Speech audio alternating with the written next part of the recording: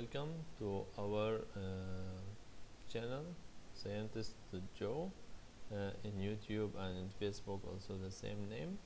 Today our uh, our topic was the same mm, previous topic about how to find the articles. Uh, last uh, topic we were talking about uh, Google Scholar. Today we will talk about the very big big big website that have so many databases which is PubMed or NCBI you can find it just write PubMed or NCBI in the uh, on the uh, Google search. You will find this uh, screen.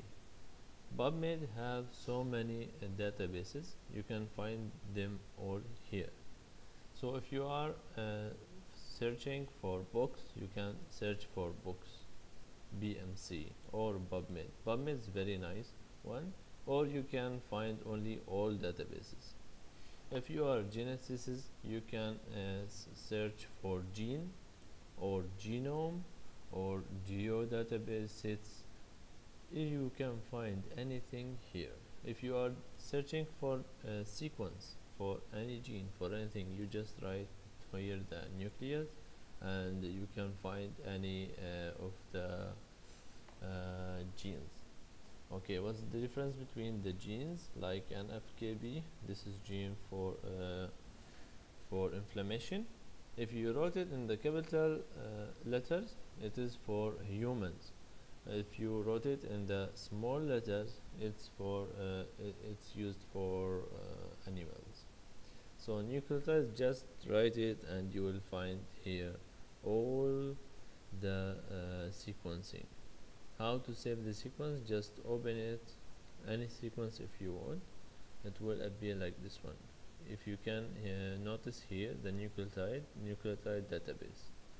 How to save it? Just uh, do send to file and GenBank format if you can if you want faster this one used for uh, bioinformatics or GenBank as you want.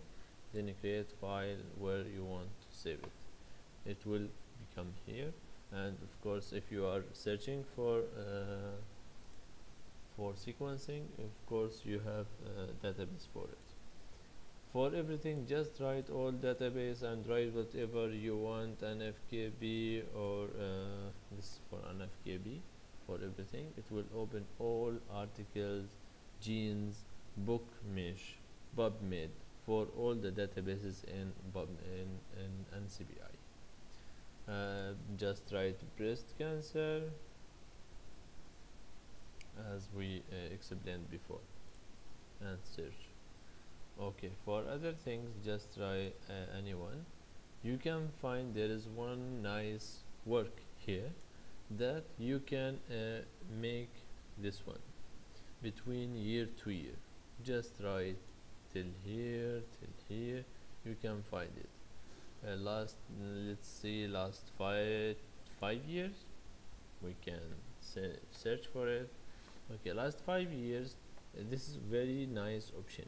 If you write five years uh, it will become here for all the research in the last years it will give you like how many uh, focus how many intention of the uh, research here. And you can download it. Because of that this one this uh, website is very useful for the whole data. Google Scholar is just for articles. This one you can use it for anything in your life. Also same which we are talking about for the PubMed or for anything. You can use if you, you didn't open the uh, article you can use for another articles you can uh, open it like this one uh, we cannot download. Just use what I told you before the another uh, website which is CI Hub to open the articles. And this is our uh, topic for today thank you so much and hopefully you get any you got any idea from here. We will talk later in the next topics inshallah.